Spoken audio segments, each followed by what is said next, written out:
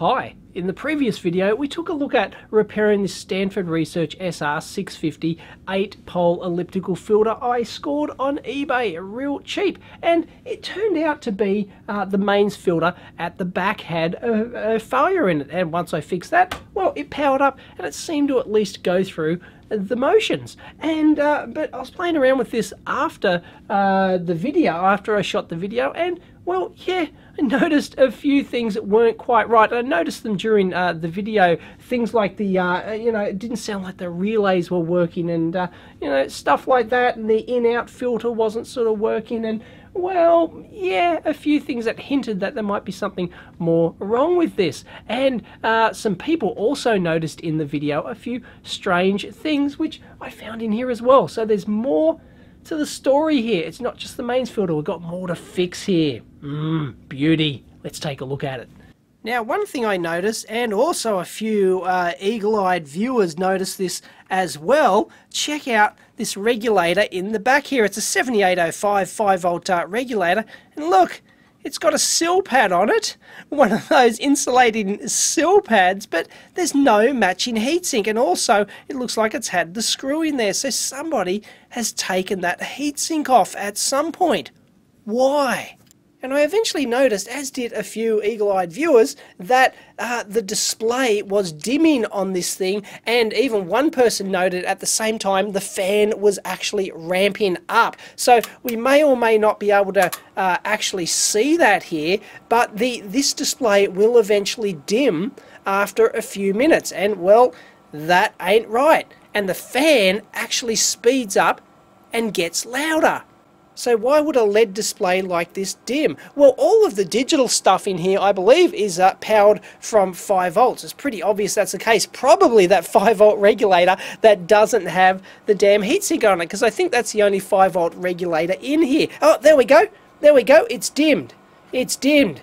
There we go. So the only re I better turn that off. That's that's not a good thing, okay? But the only reason that would dim is if the voltage rail actually dips. I mean, if the voltage rail goes up, the display brightness is going to increase. So that 5 volt rail must be dipping. Now, the digital board at the back here, uh, as I said, has its own 5 volt rail and also all of the displays on the front. Uh, those displays will be multiplexed uh, too, of course, they have to be. There's not enough uh, wires coming through to display all the segments, but they're multiplexed. But they will be going through dropper resistors and the uh, effective brightness is going to depend of, on the power value of those dropper resistors and the fixed 5 volt rail in here. So they, that voltage rail must be dropping. So let's take a look at it and measure it.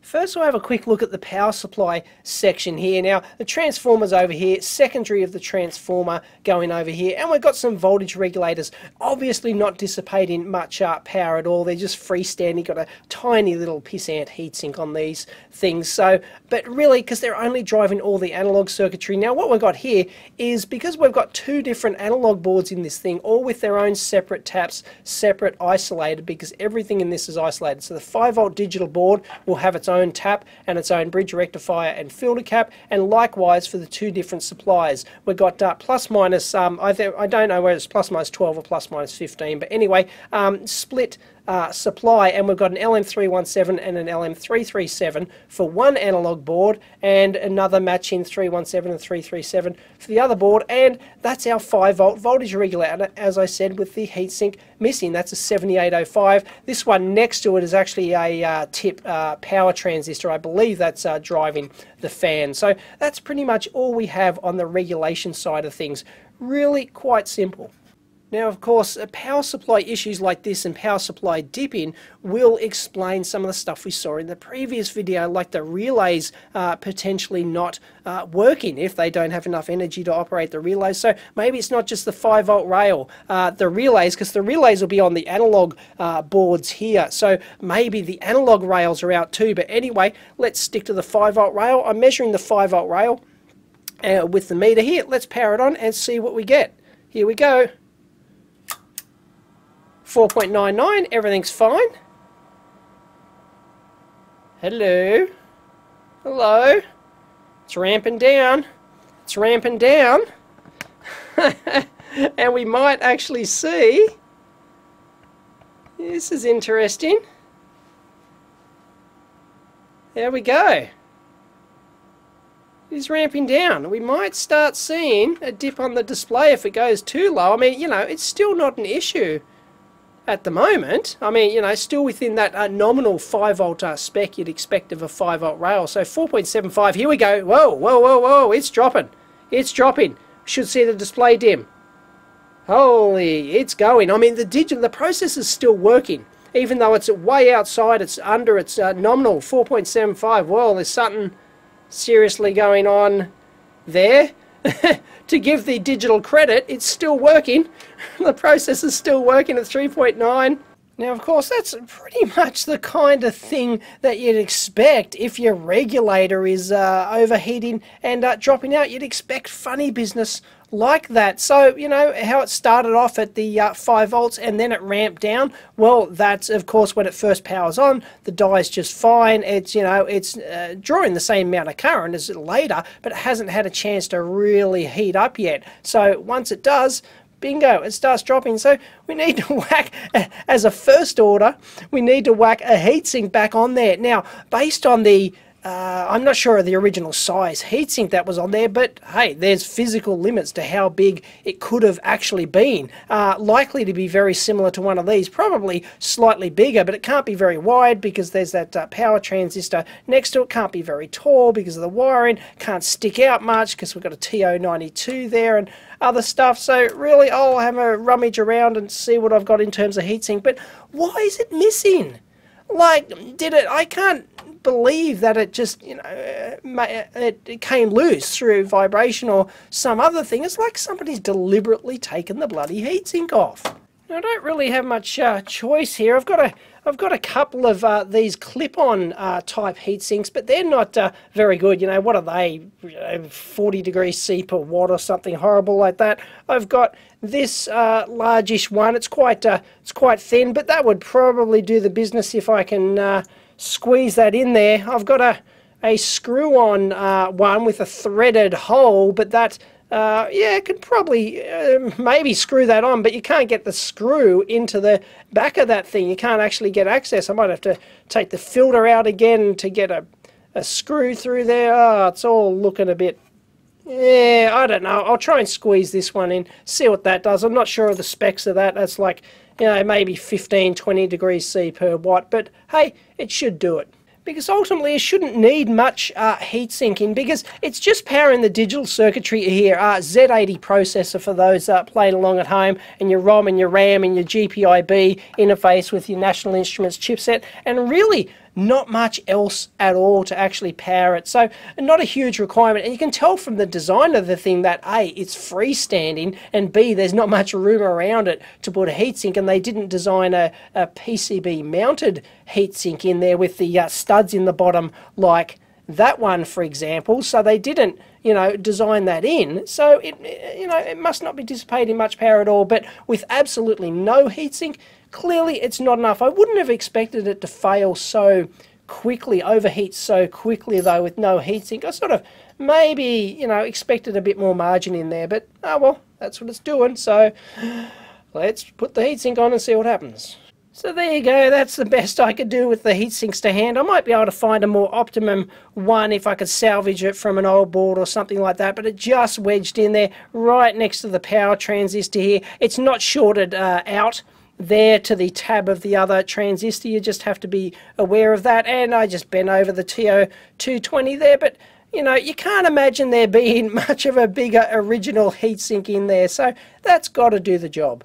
Unless, of course, there's some other, uh, something else on the digital circuit actually loading down the regulator. Hey, we don't know yet. Let's just power it back up, see if we get that sort of same uh, ramping effect, and let's measure the temperature of the heatsink. Alright, let's power it up again. There we go, 4.991 and holding. Expect it to maybe drop a smidgen as it starts to warm up, but shouldn't get that uh, runaway effect that we got last time. And, well, yeah, it's holding steady, so twiddle your thumbs, keep going. We need to get in there and measure the heatsink, but I'll leave that on for like uh, five minutes and uh, see how see how warm that gets. Yeah, it's dropping a tad, but no big deal. Probably should measure the input voltage too.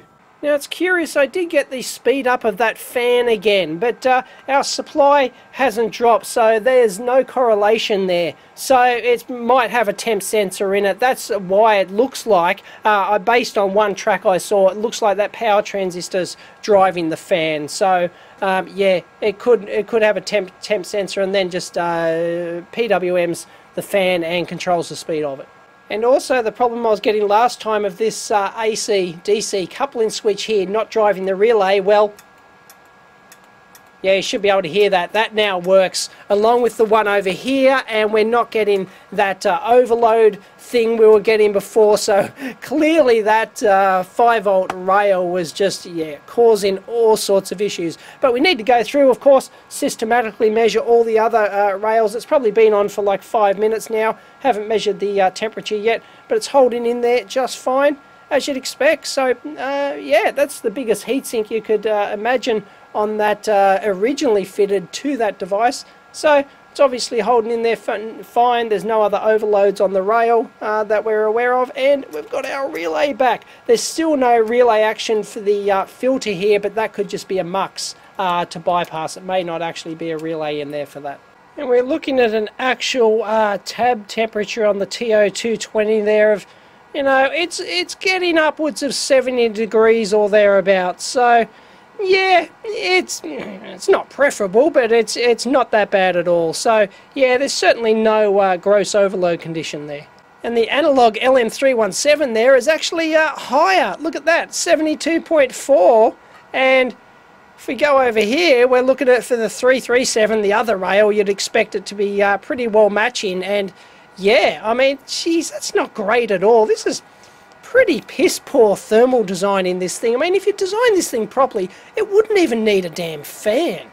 And we'll just measure our 5 volt rail there. Yeah, it looks pretty clean, no worries. And uh, we can go in there and AC couple that if we want and have a look.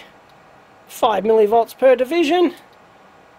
There we go. Not a drama whatsoever. So that 5 volt rail's just running hunky-dory and we'll just check the input voltage to the regulator, see if it's uh, well designed or see if there's any filtering issues. And well, the filter looks uh, reasonable. You know, we've got about a 1 volt uh, ripple on there and 2 volts per division. We're looking at 2, 4, 6, 8.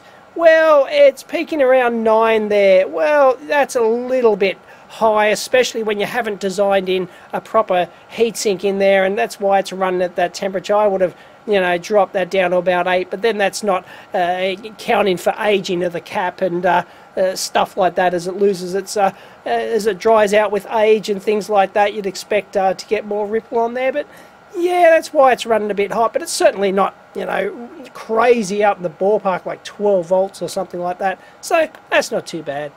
And we'll measure the uh, LM317 rails, and th these are really annoying because there's no voltage test points on this board at all. It's really damn annoying. You've got to figure it out uh, for yourself, and you can't see the traces because they're on the bottom. And I had to buzz a few things out and use a bit of common sense. And I finally found the ground point on there, and ah, it's just ridiculous. Anyway, that's our output voltage of the LM317, and that's around about, we're 5 volts per division, it's around about 15 and a half volts or thereabouts. And the input voltage, if I can get in there, and yeah, there we go, there's our input voltage. So you know, 5, 10, 15, 20. Whoa, geez, look at that. That's really overkill, and the ripple doesn't matter a rat's.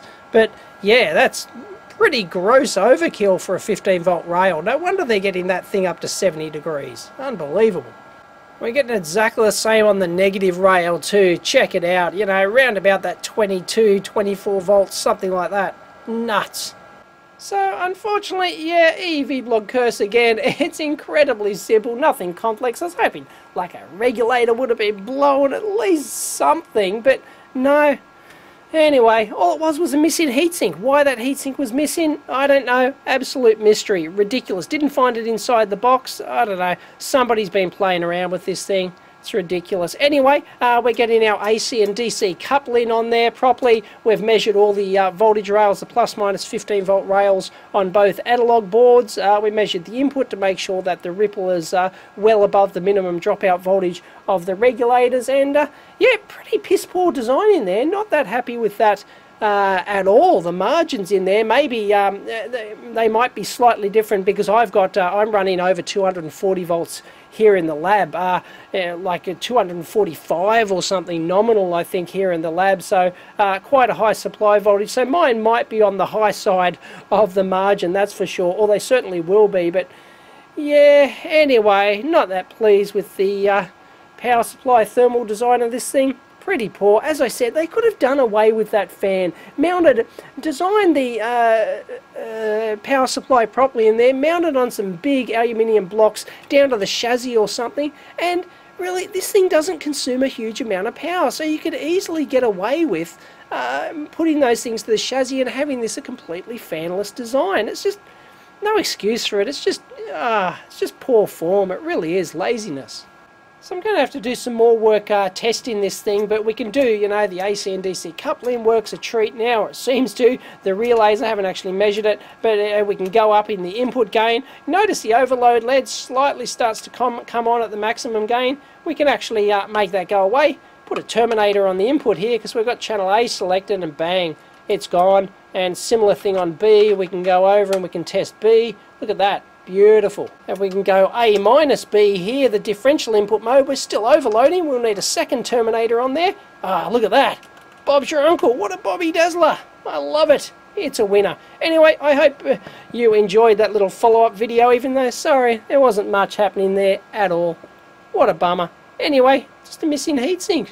Meh. Hope you enjoyed it. Catch you next time.